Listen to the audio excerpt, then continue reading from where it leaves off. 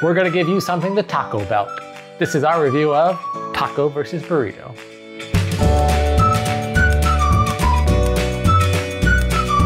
Taco versus Burrito is a take that set collection game where your goal is to fill up your taco or burrito with the weirdest ingredients.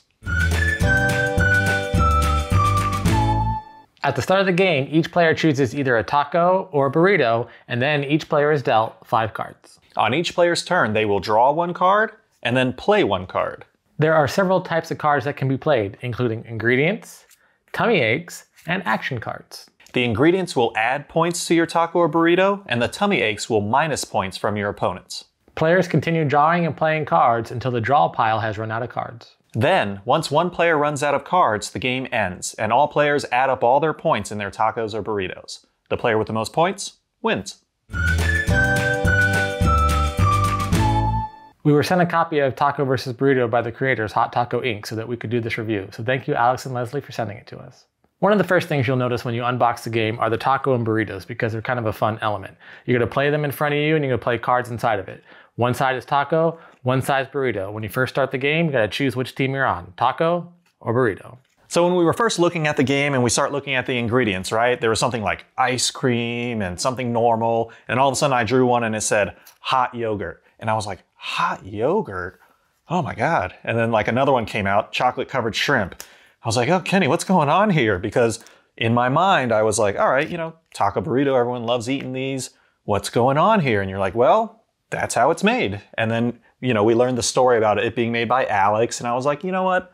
I can imagine a kid just going, you know what could be good? Hot yogurt. Ha ha ha ha. And I was like, okay, that's cute. It's funny. I think I like it.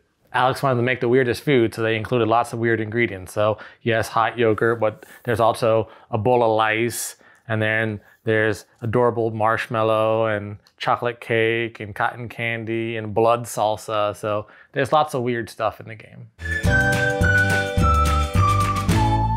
The mechanics of the game are very easy to learn, so this is definitely a family-friendly game. You can probably teach it to kids pretty quickly and then get started playing right away. So the concept is you're playing positive ingredients in your taco or your burrito, and then you want to play the negative points in your opponents. And then if you get far behind, then you want to play an action card that can kind of turn the tables, either steal their taco or burrito or make them get rid of their ingredients or different things like that. So it's definitely a take that game, but there's not a lot of reading like in some other games, and it plays very quickly. So kids and families can play it and it'll be a fun night. Personally, with these types of games, you know, it's a lot of, okay, let's let's hold our good cards and then play our bad cards and save it until the very end when the deck runs low. But when everyone's doing it, it starts off a chain reaction, right? It's like, okay, I'll play this card, but then I'll, I'll steal that, but then I'll steal yours. So really, it's the person that was able to hold on to that last card that really makes or break if they're gonna win or not. The end game starts as soon as the last card is drawn from the draw pile. Then you keep playing until one player runs out of cards. So even if you're holding a really good card, if someone else runs out of cards before you can play it, then you got to discard it and you just count up your points. So you didn't get to play it. So if you were planning on stealing someone else's taco or burrito right at the end, but someone got out of cards before you were able to play that, then that strategy doesn't work for you either. So it's kind of a timing. Yes, you have to hang on to it till the end, but at the same time, you don't want to still be left holding your cards when the game ends all of the games in this genre all have the same issue, which is that it's luck of the draw, which if you don't mind that, then it's a lot of fun. You're just playing, attacking each other, and there's not a whole lot of strategy other than holding onto your cards as long as possible. And as you play the card, you attack them, you hurt them, then they can play it and attack you, and they hurt you, and then you just keep going back and forth. But because there is that luck of the draw, there isn't a whole lot of strategy. So this isn't for people who like those really heavy Euro style games or the really long campaign games that could take eight hours. This is definitely a light appetizer game, start of the night, family friendly, getting together for the holidays. You just want to play a quick 15, 20 minute game. This is that style of game and it's perfect for that.